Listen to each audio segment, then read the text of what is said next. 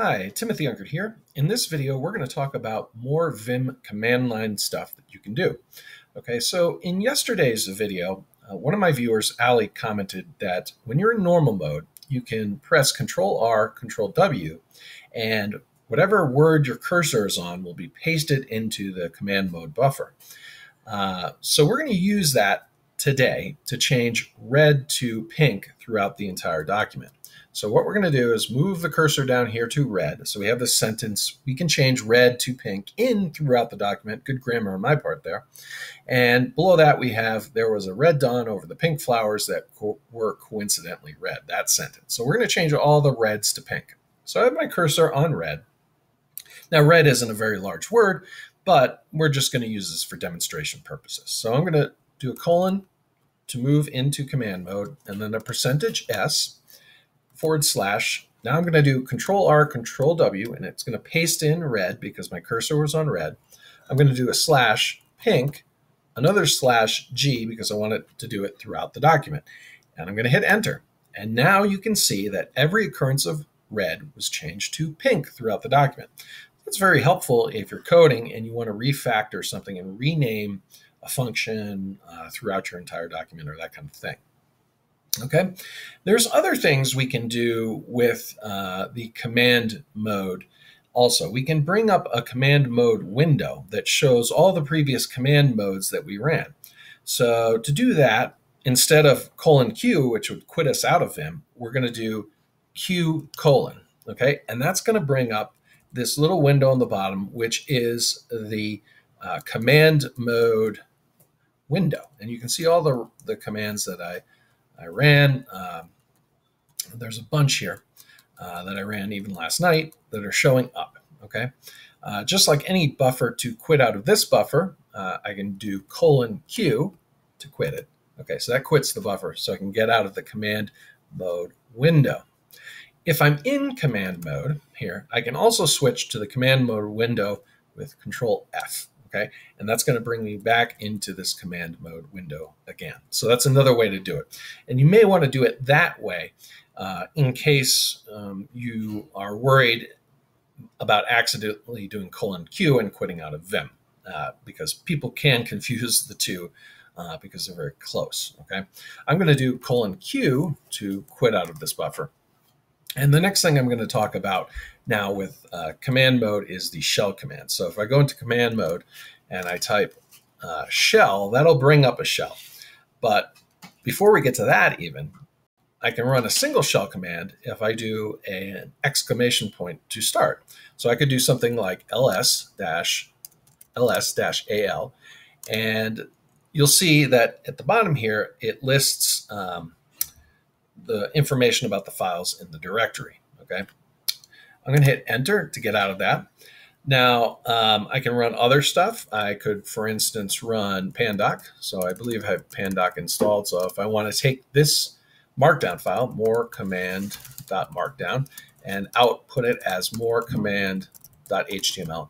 By the way, I'll include a link to the HTML file I created from uh, this in the description so you can go check out the stuff we covered in this video as well uh, by viewing that file online.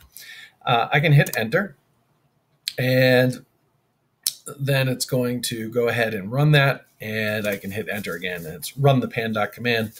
Also, if I had uh, GCC installed and I was having, working on a C file, I could compile the C file, I could run the C file um, just with this uh, running the shell command with the uh, exclamation point in front of the command.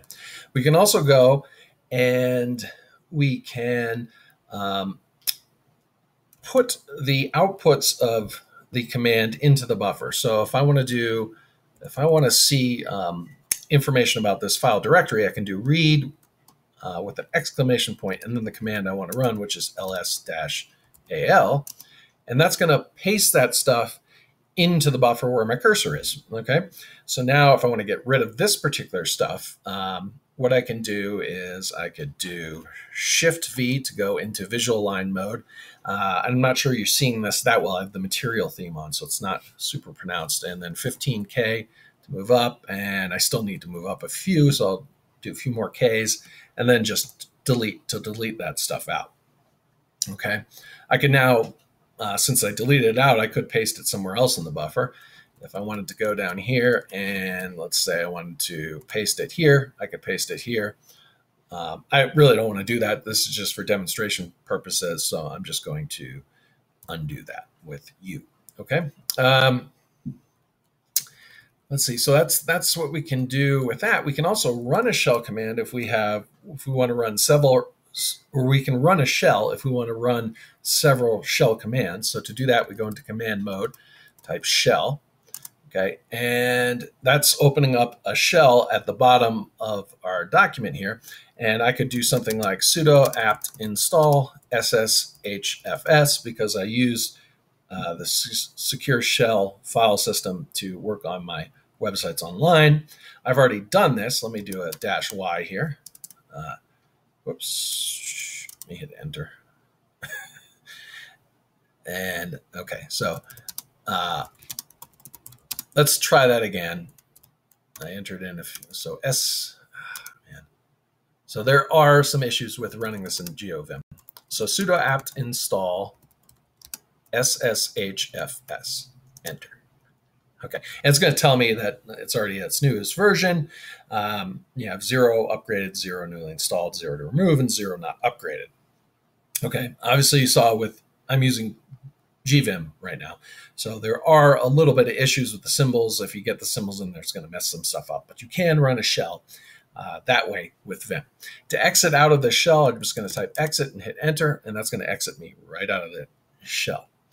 Okay, um, I think that's pretty much it. What I want to talk about in this video. Um, I did mention the read here, and uh, that puts the output into the buffer. Uh, and this is, I don't know if anyone, any of you have used Nano, if you do Control T and run a shell command, it will paste the stuff from the shell command in the buffer. So it's a little similar to that. Uh, I hope you found this video interesting. If you did, could you please give it a like as it will get out to more people. I also want to thank you for watching, and I hope to see you in the next one. Have a great day.